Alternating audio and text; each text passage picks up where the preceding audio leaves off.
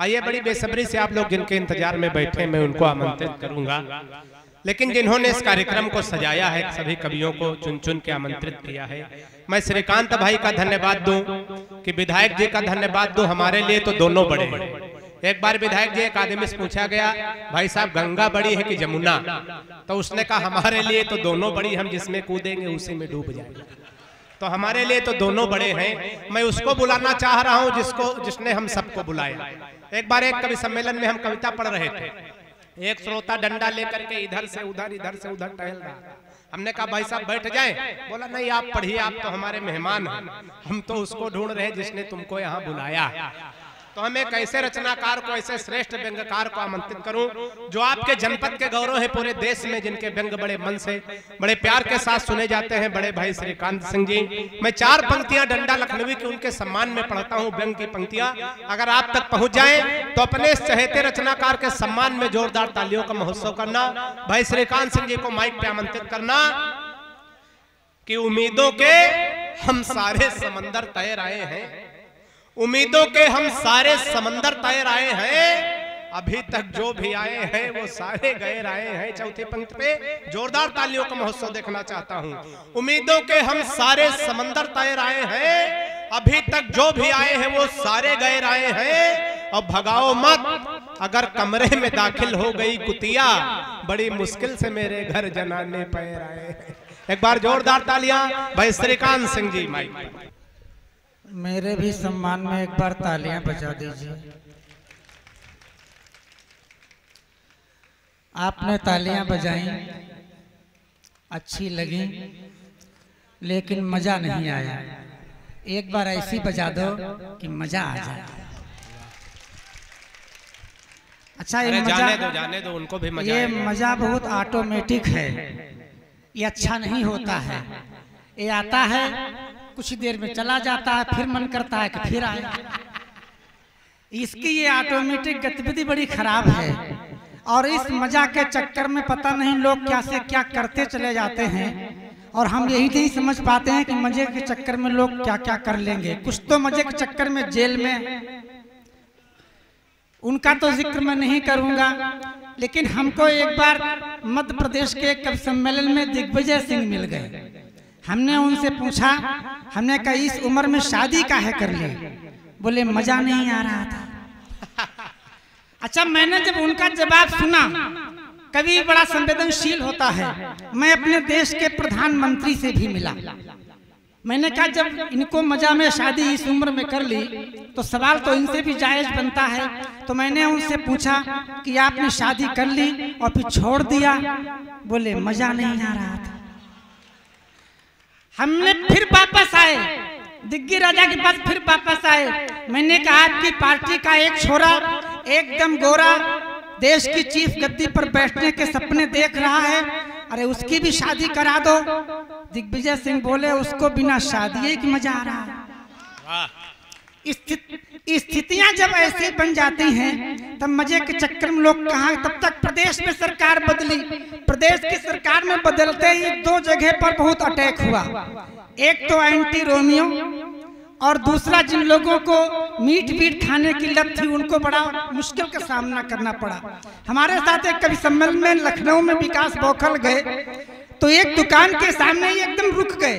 तो मैंने इनसे पूछ लिया, मैंने कहा, जब तू शाकाहारी तू तो खाता ही नहीं, काहे रुका खड़ा है?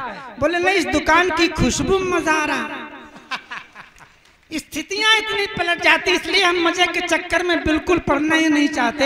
हम चाहते हैं एक बार तालियाँ ऐसी बजा दो कि आनंद आ जाए। वाह। मज़ा बड़ा टिकाऊ होता है लेकिन आनंद टिकाऊ होता है।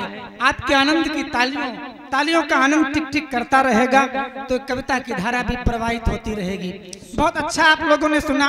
कुछ विषय छुए नहीं गए हैं जिन पर सुनाया नहीं गया है। मैं वहाँ पर थोड़ी सी बातचीत करने की कोशिश करूँगा क्योंकि मैं व्यंग्यकार हूँ। और लगे कि मैंने अपने व्यंग्य के धर्म को निभाने की कोशिश की मंच का चाहूँगा स्वागत है दादा तो मुझे आशीर्वाद दीजिएगा। देखिए सरकार बनी। मैंने जहाँ से ज़िक्र किया था वहीं शुरू करता हूँ। और एंटी रोमियो दल चला स्कॉट चला। तो भाई साहब आपको कुछ बातें ऐसी होती जो पता नहीं चलती हम ढूंढ के लाते हैं उनको। तो एक लड़की ने एसएमएस सीधे योगी को कर दिया। उसने एसएमएस में लिखा कि मेरी स्कूल की पढ़ाई बंद। जैसे ही उन्होंने देखा मुख्यमंत्री ने स्कूल की पढ़ाई बंद, तुरंत उस लड़की को बुला लिया। बोला, पढ़ाई क्यों बंद? बोले, पढ़ाई इसलिए बंद है क्योंकि स्कूल हमारा पाँच किलोमीटर दूर है और पाँच किलोमीटर दूर तक हम जा नहीं सकते। तो उन्होंने कहा, स्कूल में जाने आने के लिए वाहनों की व्यवस्था नहीं है। बोले, नहीं, स्कूल में तो वाहनों की व्यवस्था है, लेकिन हमारे पास इतने पैसे नहीं, हमारे माता पिता बहुत गरीब हैं, जो वाहन की फ़ीस भर सके। तो योगी ने कहा अभी तक जाती कैसे थी? बोले जाने की क्या ज़रूरत थी? स्कूल के टाइम पर चार पाँच मोटरसाइकिल तो घर के बाहर खड़ी मिलती थी। बैठ लेते थे चले जाते थे। वापस भी छोड़ जाते थे। कभी कभी तो ये जिद होती थी हम बिठाएँगे तू बिठाएगा। अब तुम्हारे इस एंटी रोमियो के कारण हमारी पढ़ाई बंद हो गई है। अच्छा तुरंत सरकार फिर एक्शन में आई बोले उन लड़कों के नाम बताओ जो तुझे लेके जाते थे। उन लड़कों को भी तलब कर लिया गया। लड़, लड़की ने नाम भी बता दिए। जब उनको भी तलब कर लिया गया तो उनसे पूछा गया तो इस लड़की को रोज मोटरसाइकिल बिठा के स्कूल छोड़ता बोले हाँ छोड़ते बोले ऐसा क्यों करते बोले सेवा भाव है। बोले, सेवा भाव बोले, गरीब लड़की मोहल्ले की है, उसकी शिक्षा बाधित न हो। सेवा भाव से जब पढ़ाने जाते हैं, उसको छोड़ आते हैं स्कूल ताकि, हमारे मोहल्ले की लड़की पढ़ लिख कर कुछ नाम रोशन करे। भाई साहब, देश, प्रदेश के मुख्यमंत्री को जवाब नहीं सूझा प्रेस कॉन्फ्रेंस बुलाई और प्रेस कॉन्फ्रेंस में बयान दिया, सेवा भाव से अगर कोई किसी लड़की के साथ जाए तो उसे गिरफ़्तार मत कर। अच्छा। अच्छा एक बात और बता दें आपको। जब ये एंटी रोमियो चला तो रोमियो ने एक मीटिंग बुलाई। उस मीटिंग में मजनू भी गए और रांझा भी गए। मीटिंग इसलिए बुलाई जब उन पर एक्शन हुआ तो उन्होंने प्रस्ताव मीटिंग में चर्चा इस बात पे हुई कि बड़ी मुश्किल से हम लोगों की जमात बढ़ी थी, इतनी बढ़ी थी, इतनी बढ़ी थी, इतनी बढ़ी थी, इसमें बूढ़े तक शामिल हो गए। कुछ तो उसमें शामिल होते होते जेल की हवा खाने लगे और आकर के एक मुख्यमंत्री बैठ गया जिन्होंने रोमियो स्कॉट चला दिया। एक प्रस्ताव पास किया गया। उस प्रस्ताव के पास के तहत मजनू और रांझा योगी से मिले। ध्यान से सुनना, अगर की तो। मजनू और रांझा मिले, इन्होंने कहा, ऐसा करिए एक स्कॉट हमारे नाम से भी चलाइए। रांझा ने कहा, एक नाम हमारे से भी चलाइए। तो योगी ने कहा, देखो, ऐसा है एक चल गया तो चल गया। पार्टी का निर्णय है, एंटी रोमियो स्कॉट चला, दूसरा स्कॉट नहीं बन सकता है। रांझा मजनू ने कहा आपको चलाना भी कहा, घोषणा तो करनी है। एक हमारे हमारे नाम की भी कर दो। तालियाँ बजती यहाँ पर अगर समझ में बात आ रही है तो।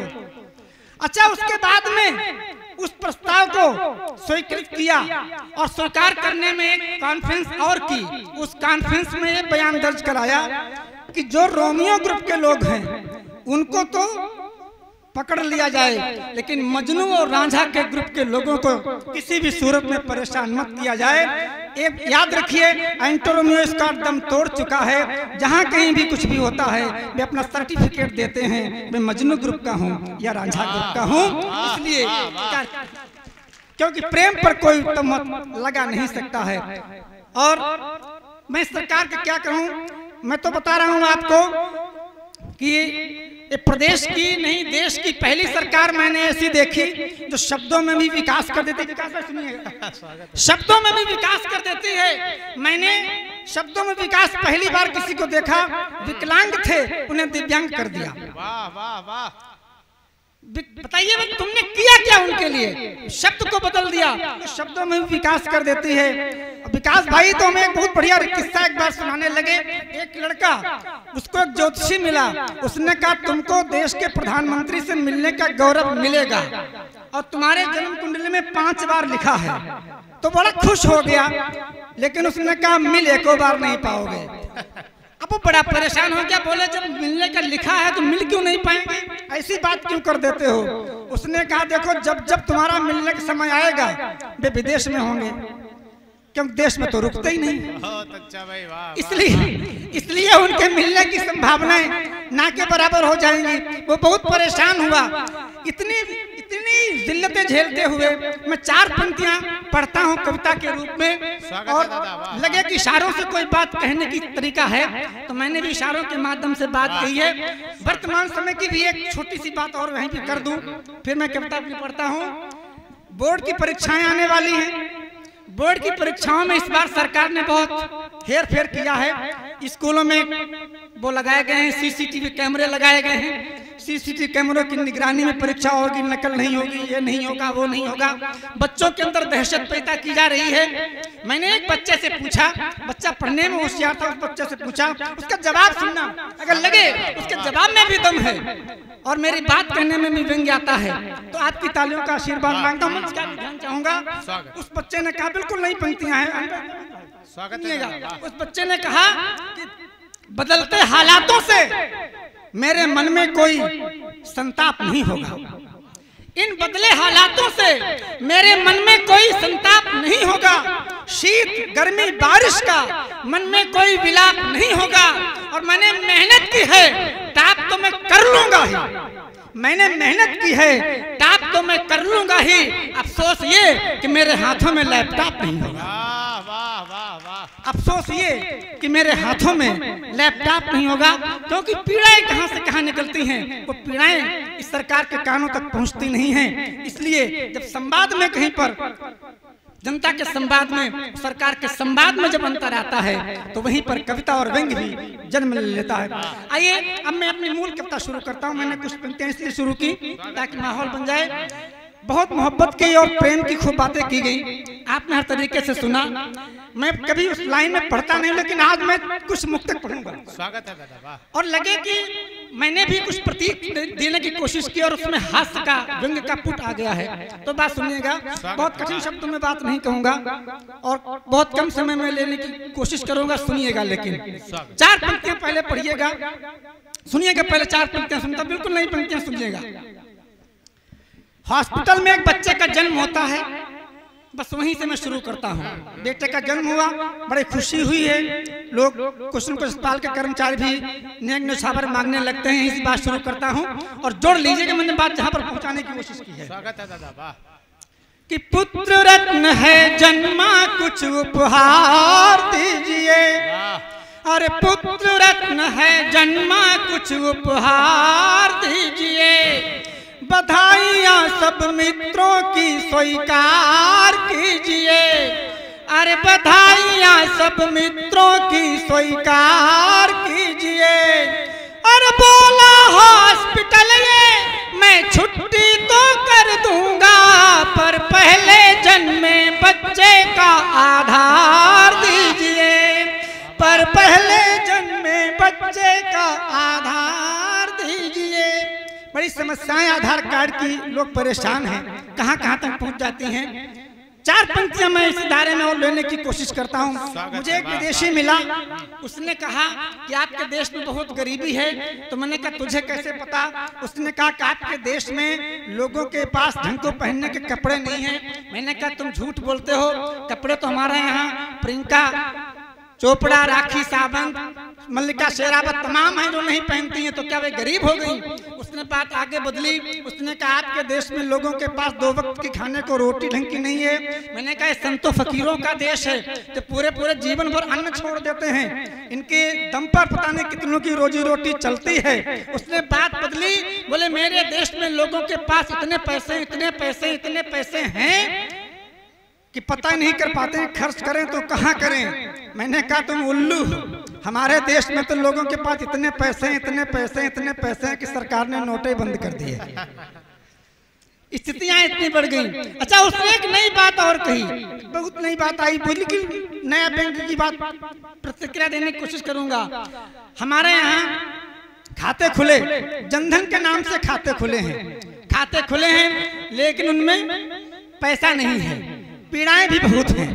लोग कहते हैं पंद्रह लाख कहे थे, पंद्रह रुपए इसमें डाल दीजिए। तो मैंने एक सरकार की नुमाइंदगी करने वाले ने सज्जन से पूछा, हालाँकि वे सज्जन है नहीं। मैंने पूछा मैंने कहा जनधन के खाते खुलवाई का है? बोले ये खाते उनके खोले गए हैं जिनके पास पैसा नहीं है।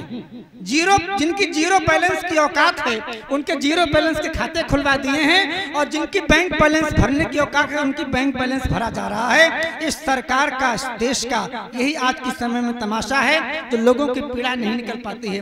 तब मैं कुछ पंक्तियाँ पढ़ता हूँ और आप लोग आनंद के साथ सुनिएगा। बेटा बात मत करो सुन लो पंक्तियाँ। जय सुनिएगा। चार पंक्तियाँ और, और पढ़ता हूँ। और श्रृंगार के रूप में मैं कुछ पंक्तियाँ पढ़ने की कोशिश करता हूँ और हास्य और व्यंग्य के लाने की कोशिश करता हूँ सुनिएगा। कि जीवन में मेरे आई तुम बन कर के नव सृष्टि। जीवन में मेरे आई तुम बन कर के नव सृष्टि। मैंने भी रखा काबू में अपना दिल और दृष्टि। मैंने भी रखा काबू में अपना दिल और दृष्टि। अब बच्चे बड़े हुए हैं, एहसास हो रहा है। मैं हुआ नोटबंदी सा, तुम लगती हो जीएसटी मैं हुआ नोटबंदी सा, तुम जिसती हो जीएसटी कि घर आँगन तब महका, जब घर आई घर वाली अरे घर आँगन तब महका जब घर आई घर वाली अरे बच्चों की किलकारी ने घर में दी खुशहाली। अब मलकतम है छूटा बच्चों को शासन सौंपा। तुम आधार कार्ड सी लिंकअप मैं जनधन सा हूँ खाली। तुम आधार कार्ड सी कप मैं जनधन सा हूँ खाली। आइए एक छोटी सी रचना आपके बीच में पढ़ करके मैं स्थान लेता हूँ ताकि अच्छा विकास वाह। को समय मिल जाए पढ़ने के लिए। और मोहन का देलवी को भी आप सुने। एक नई रचना इससे पहले मैंने मितौली में कई बार पुरानी रचनाएँ पढ़ी भी हैं। स्वागत और किसी ने नहीं सुनी होगी मंच के भी कुछ लोगों ने हो सकता है न सुनी हो। सुनिएगा सीधी सी रचना पढ़ता हूँ। एक साहित्य प्रेमी ने मुझसे पूछा एक साहित्य प्रेमी ने मुझसे पूछा पत्नी और प्रेमिका में अंतर बताइए? लेकिन उसे साहित्यिक विधा में समझाइए। पत्नी और प्रेमिका में अंतर बताइए।